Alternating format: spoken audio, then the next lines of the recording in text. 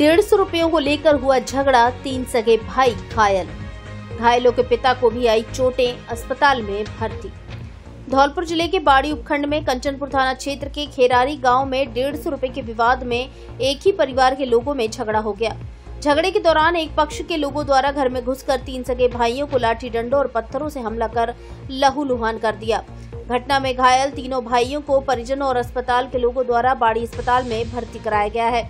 जहाँ उनका उपचार चल रहा है, वहीं घटना में घायल राम वकील द्वारा कंचनपुर पुलिस को सूचना दी गई है। पुलिस द्वारा मामले की जाँच की जा रही है। अस्पताल में भर्ती घायल 28 वर्षीय राम वकील पुत्र बने सिंह जाटव निवासी खेरारी ने बताया कि उनके छोटे भाई रामराज पर परिवार के ही माता दीन के डेढ़ सौ रूपए उधार थे। माता दीन द्वारा उधारी के रुपयों को लेकर उससे झगड़ा किया और गालियाँ दी।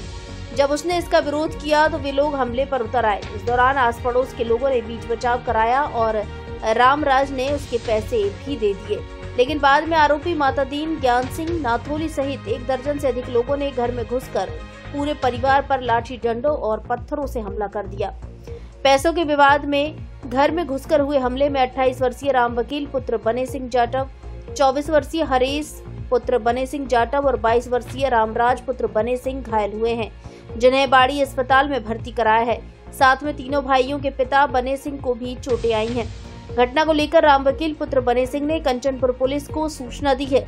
सूचना पर पहुँची कंचनपुर पुलिस द्वारा घायलों के पर्चा बयान लेकर मामले की जाँच की जा रही है।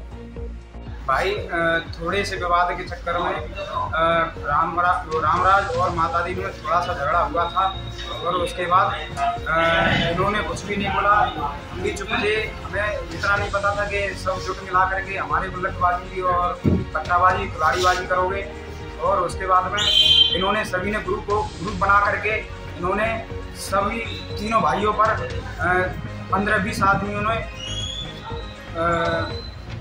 पंद्रह बीस आदमियों ने बार किया है और लठ और पत्थर और खिलाड़ियों से पैर और सर फोड़ दिया है। जी भैया डेढ़ सौ रुपये थे रामराज पर, माता दी ने के तो इन्होंने बहन माँ की गाली बोली थी, बहुत भद्दी भद्दी गाली बोली थी। इसके कारण इसने उसको बोला था कि तूने गाली क्यों बोला था पैसा ले लेता। पैसा ले लेता उस समय तूने गाली क्यों बोला? उसकी वजह से इन्होंने मारपीट की। पैसे देने के बाद में भी इन्होंने मारपीट की। क्यों?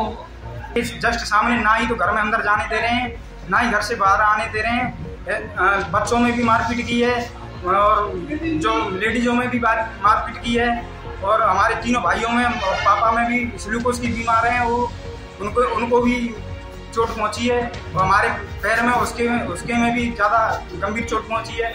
इसका नाम रामराज है जी इसके पिताजी का नाम? बने सिंह। आपका नाम क्या? राम बकी। पिताजी का नाम?